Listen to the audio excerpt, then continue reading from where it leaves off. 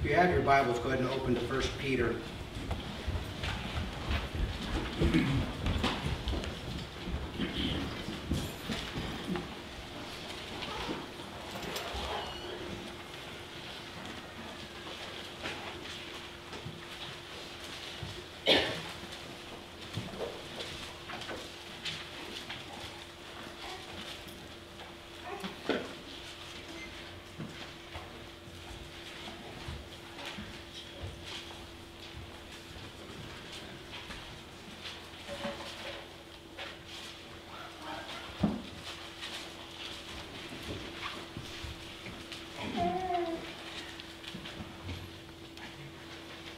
Father, we ask right now that you would come, that you would open our ears and our eyes, to prepare our hearts to receive what you would give us today, Father.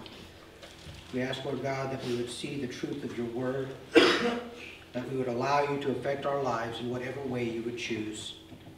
Father, that it would become more of you and less of me. Guide us and guard us, Father, in Jesus' name. Amen.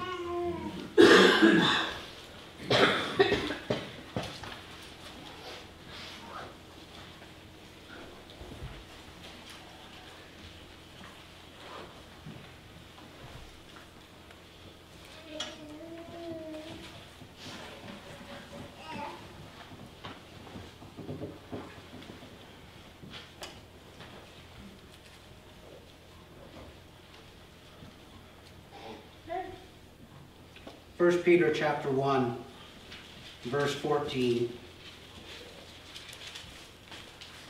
Peter writes, he says, As obedient children, do not be conformed to the passions of your former ignorance. But as he who called you is holy, you also be holy in all your conduct. Since it is written, You shall be holy, for I am holy.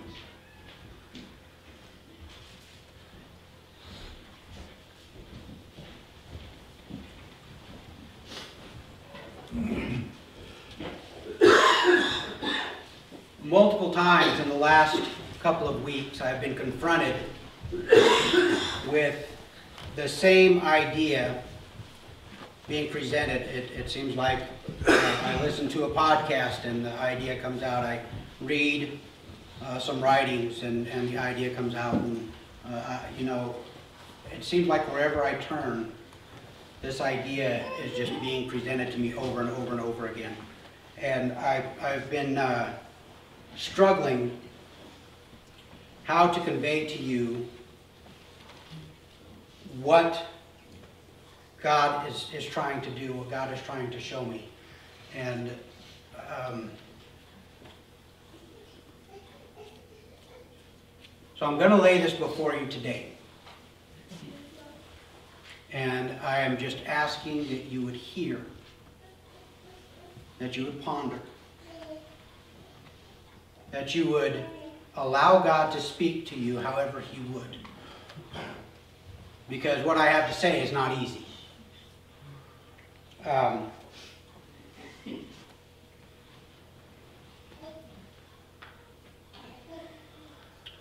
Wednesday at prayer meeting, we were going over the number of things in this church that people are facing. From broken homes to dealing with cancer to struggles financially. And as we were praying, it became very obvious to me that this body is under attack. And as you know, you think, duh. Look at everything that's going on around you. And, and I've got to tell you, the last two or three weeks, I, I've been almost overwhelmed with the things that are going on with different members of this body. And it, it seems like no sooner do I hang up the phone from talking with one person than something else comes in. And on Wednesday, I, I talked to the group that was here for prayer, and I said, you know, we're under attack, and we've got to armor up, and we've got to stand together in this fight. And yet, I think there is even more deadly an enemy than cancer.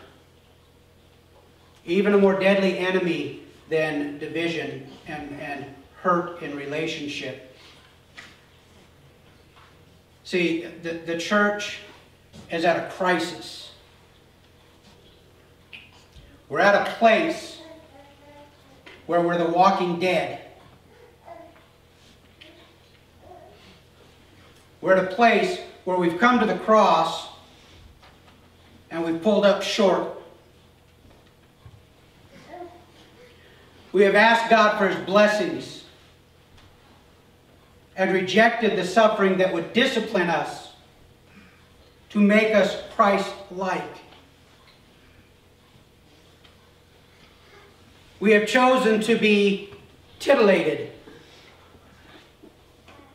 soothed, entertained,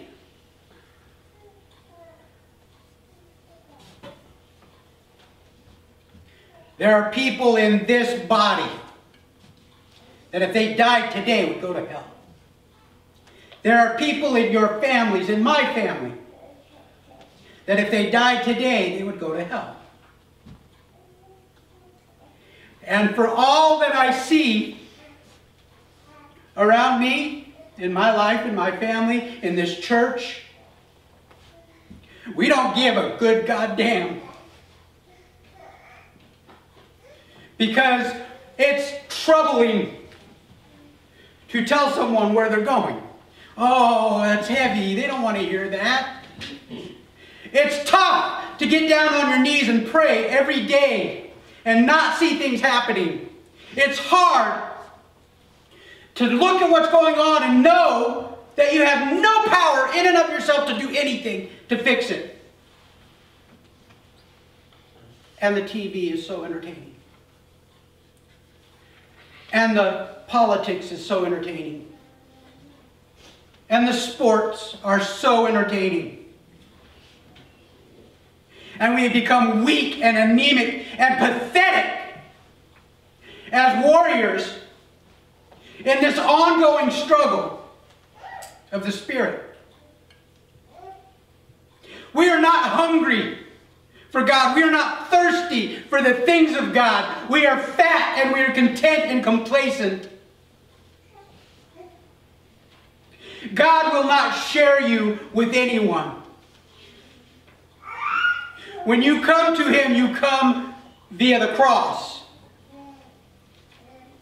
And it's a one for one exchange. His life for yours. He holds nothing back. You hold nothing back.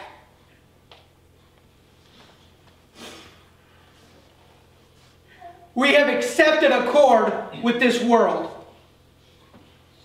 We have made friends with the God of this world.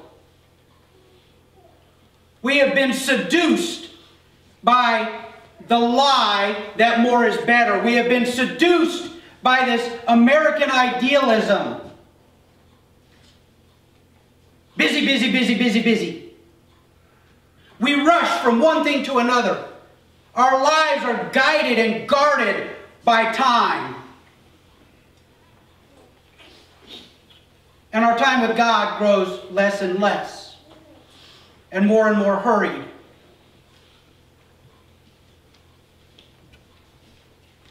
Where are the people who will turn off the TV and get on their knees and plead and intercede on behalf of the people for God? Where are the people who will intercede for the warriors over in the Middle East that are giving up their lives so that his name would be professed? Don't be content with giving him your dollar. Give him your life. He wants all of it. He deserves all of it. He is calling out for all of it. And we so carefully dole out what we are willing to give. So long as you don't mess up my plans. So long as you don't Take away my things, my idols.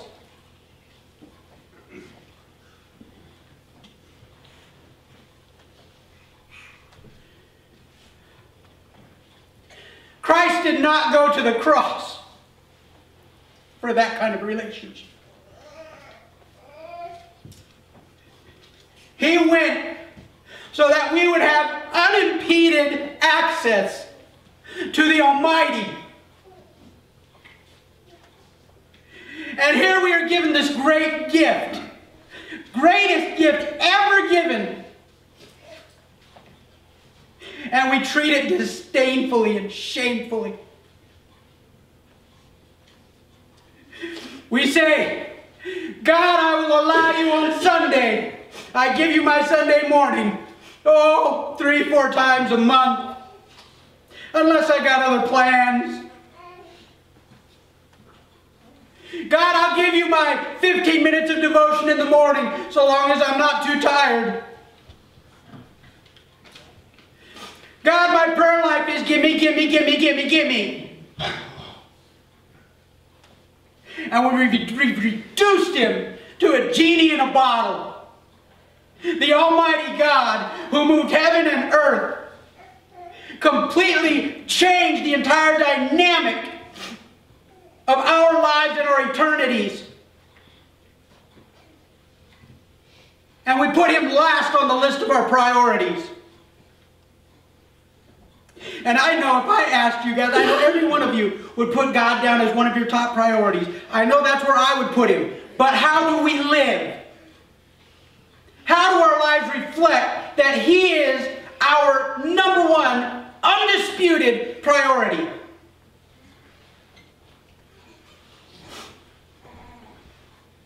See, we're in the battle, folks. We're in the battle.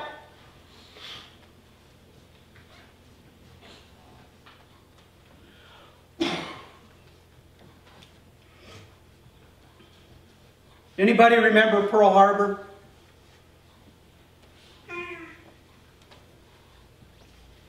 Why was Pearl Harbor so devastating? Not prepared. We were unprepared. we were not ready. And folks, Pearl Harbor is coming.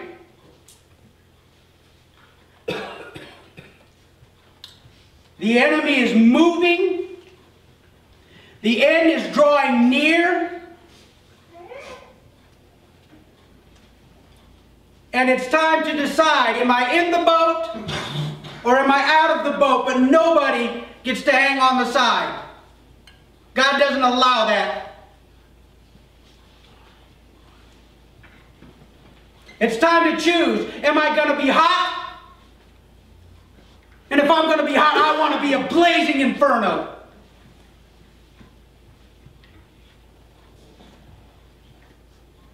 Or am I going to be cold? Because if you continue in lukewarmness, he will reject you. If you continue to choose to live your life with mediocrity, compromising your walk and your relationship with God, and all that that entails, Pearl Harbor's coming. I honestly believe there are so many things going on in this body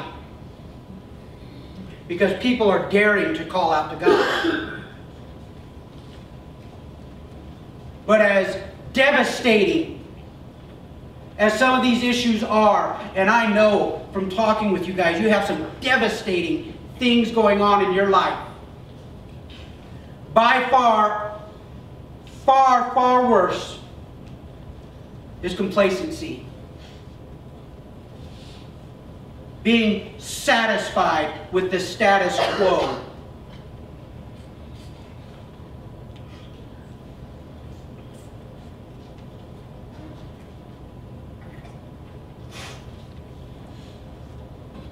When we come to the cross, that's the start. And God calls us to be as He is. Jesus said that we are to be perfect as our Heavenly Father is perfect. And immediately we start rationalizing, well, we know we can't be perfect because only God is perfect. So we start adjusting the measure, the bar to which we should ascribe to lower it and lower it and lower it until it becomes something much more reasonable and manageable. If you can manage your own goodness, you have no need for God. He didn't call you to the measure of your goodness. He called you to His perfection. The only way you can get to that place is by absolute and complete dependence on Him.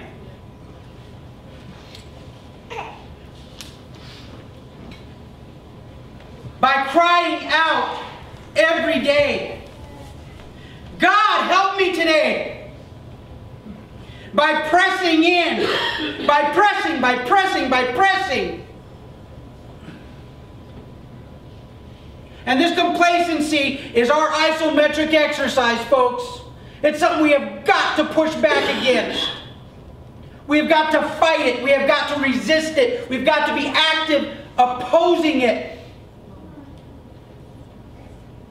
We can't allow complacency to dictate our walk, our faith. God has blessed this country. We have much. Much. We have rooms full of stuff, closets overflowing. And we clear them out so we can put new ones in. God has blessed, but in the backside of it, we have taken it and we have turned it to a curse. In Proverbs it says, I ask that you would give me neither too little nor too much. Because if you get too much, you'll become arrogant and say, Look at what I have done.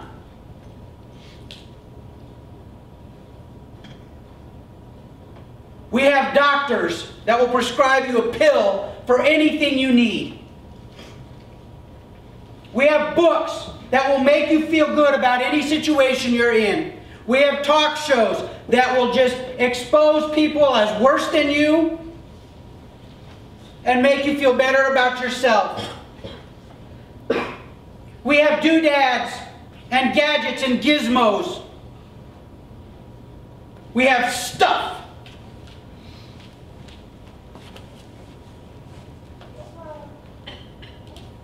we're lacking zeal. We're lacking calluses on our knees. We're lacking carpet burns on the backs of our arms as we lay out before God and we plead.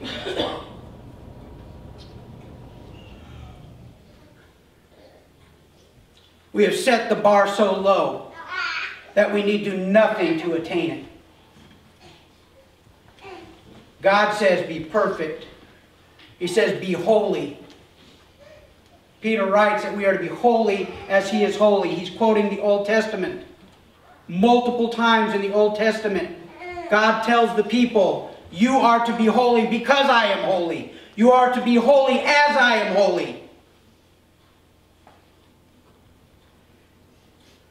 This is not something we can attain of ourselves. So we reduce the measure to which we must strive.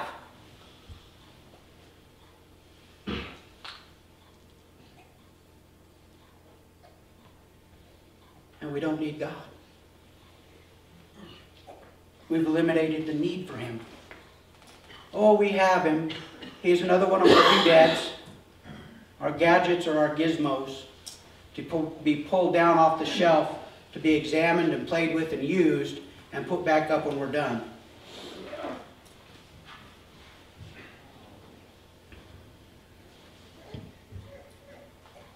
God is calling out for a people who will accept nothing less than Him. He is calling out for a people who want more than anything Him. He is calling out for a people who will not compromise, who will not grow weary, who will not give up.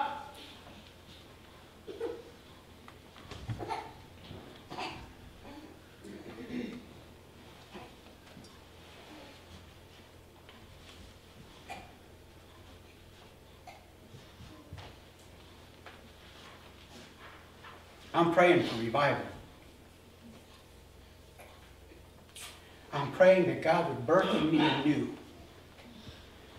a zeal and a passion for Him. And I'm praying that in you He lights a fire. Like the prophet says, a fire shut up in your bones that you cannot contain. That you would find yourself blurting out things of God. And in your mind be going, where did that come from?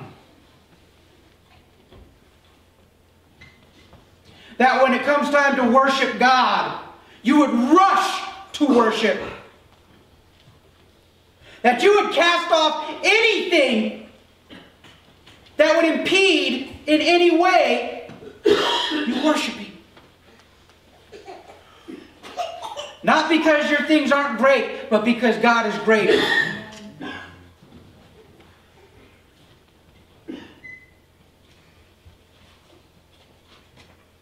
I want a fire to grow in this body. And I want to see it spread out to other believers. Because God is good. Not because Jesus Community Church is good. Not because we are good. But because the God we serve, the God that lives inside of us, is awesome. Because the God that lives inside of us is worth more than anything this world has to offer.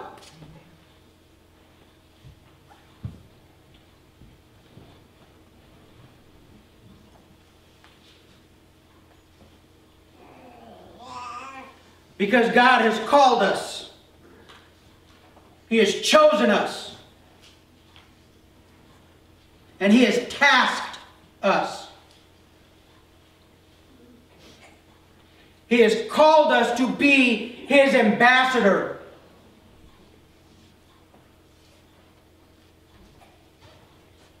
How are they going to know unless the word goes out?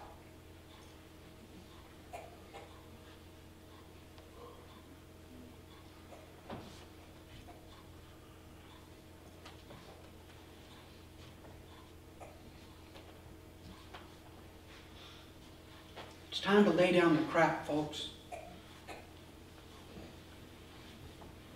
It's time to set aside everything that would encumber your relationship with God. It's time to get on our faces and we weep for the condition that this world is in, that this church is in, that God's people are in.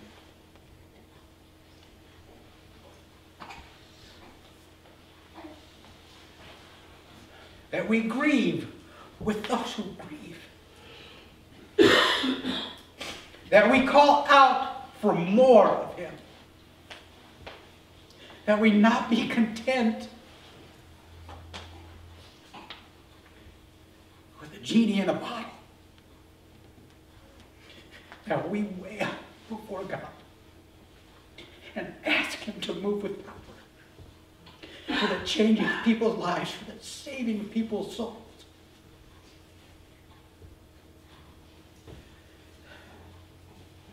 That we reprioritize our thinking and our lives. That God would now and forever be first.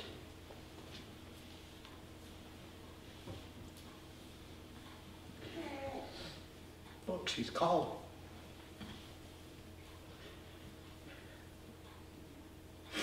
And when he shows up, I want him to find us busy about his work and a people with whom he can be well pleased. I don't want him to come home and find us sipping at his wine, and the house is in shambles.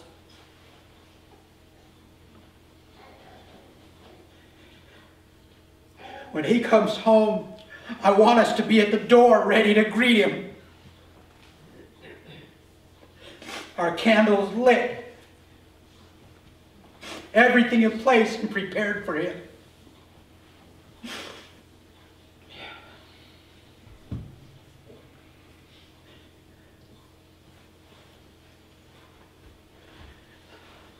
Fields are ripe unto harvest.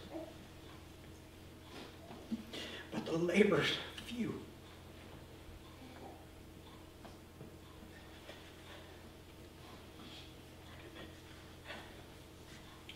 And people are going to hell. And we're more concerned about who said what on TV. We're more concerned about when the next episode of whatever it is we're watching will be on. We're more concerned with not missing the next great sale or the next great entertainment.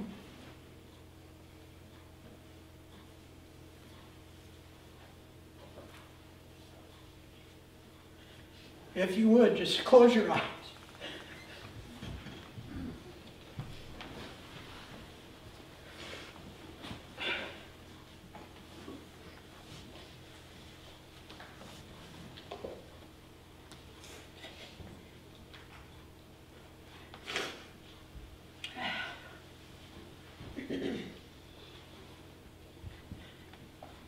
Father, we come to you right now. And God, we repent for those things that have drawn our attention away from you. Those idols, God, that we have erected in our lives. That we give our loving attention and devotion to, our adoration.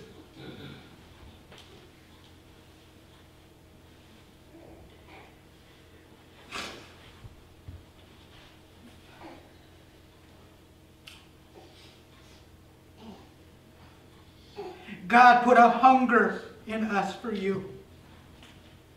A thirst that will not be satisfied, that will not be quenched except by you. A longing, God, to know you more and more.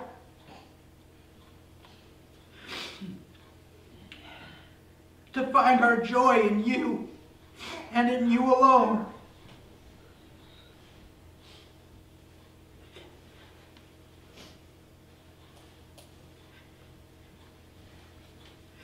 Father, show us those things that have bound us, that have fettered us, that have chained us. God, those things that have blinded our eyes and stopped up our ears and hardened our hearts. God, I ask that you would break them asunder, that you would shatter them Help us, Father, to cast down any idols that we have in our lives.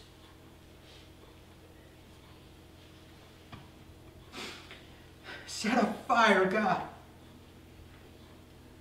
in my heart, my soul.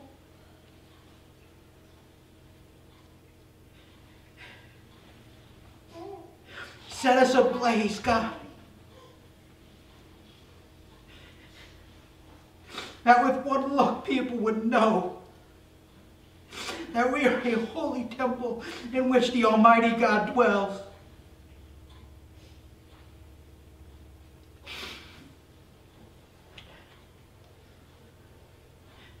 Use us, Father. Make us usable for noble purposes.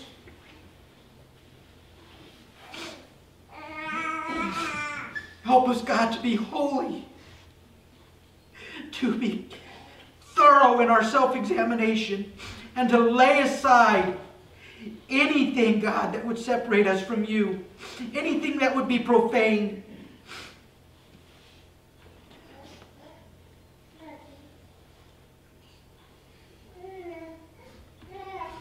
And God, give us your heart that we would love as you love.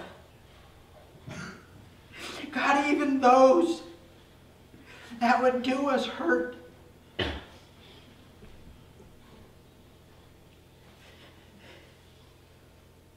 Even those who would insult us.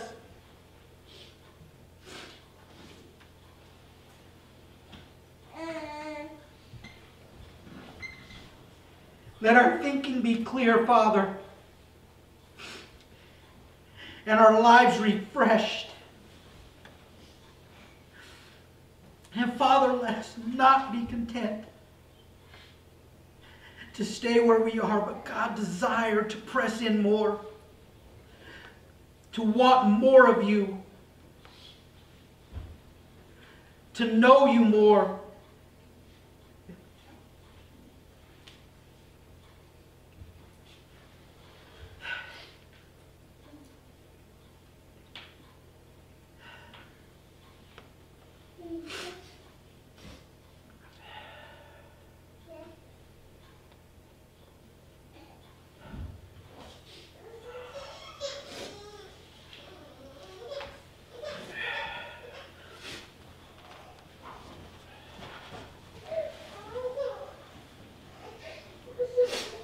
Scripture says that if we confess our sins, He is just and able to forgive us our sins. And I want to share with you uh, two things I want to confess to you. First,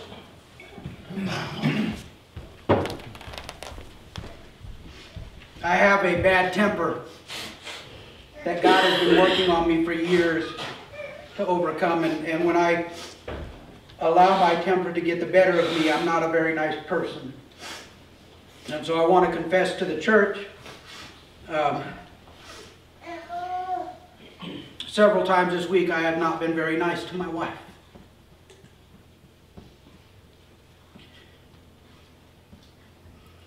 And it's easy to come up with excuses. There's a lot going on. I'm stressed. There's a lot of things on my mind, but there's no excuse to treat her as anything less than a daughter of the Almighty. And I also confess, I have really, really been struggling with a, a man that has done some of my family members' personal harm, and, and honest to God, I can't, can't say I love him. And I'm asking God, please change my heart. Because I don't, I know I am not supposed to feel this way to this man. But there are times I just want to beat him. And I don't want to love him. And I want to tell him the awful things that I think he is.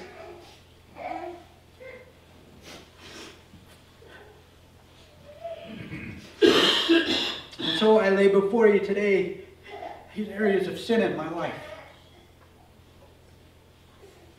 And I ask that you would pray for me. That God would strengthen me and give me victory in these areas. That I wouldn't be subject to the sins of my fathers. The Van Note temper, all the men have it. God sets us free from those kind of curses. God delivers us from them. I don't have to be the Van Note temper